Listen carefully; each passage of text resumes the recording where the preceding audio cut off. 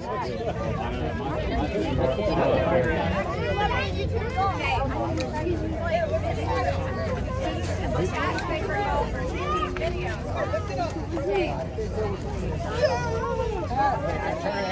guys got Max Homa. Was uh, is that he one of your favorite golfers or?